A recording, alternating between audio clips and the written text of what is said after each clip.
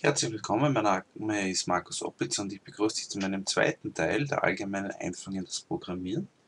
Und hier wollen wir uns der Frage zuwenden, was denn so Aufgaben von Programmiererinnen und Programmierern sind. Ja, äh, es geht darum, Probleme mit dem Computer zu lösen.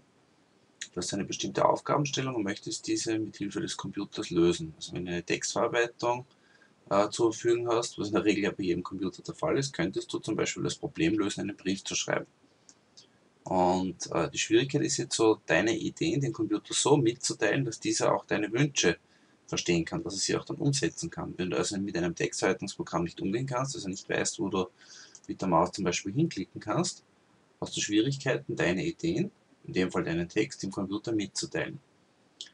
Weiters geht es darum, mit Hilfe schon vorhandener Anweisungen, vergleichen mit den Vokabeln einer Programmiersprache in dem Fall, deine Wünsche dem Computer mitzuteilen. Bei dem Textverarbeitungsprogramm weißt du schon, wo du hinklicken musst. Das heißt, in einer bestimmten Reihenfolge klickst du auf bestimmte Symbole und kannst zum Beispiel einen Text abspeichern, ihn als PDF speichern und so weiter.